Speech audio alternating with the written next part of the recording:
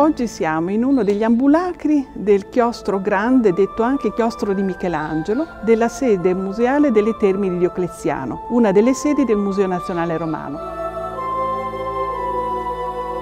In questo contesto sono esposte più di 200 opere scultoree abbiamo selezionato 15 opere particolarmente significative per eh, farle oggetto di intervento di manutenzione straordinaria e restauro.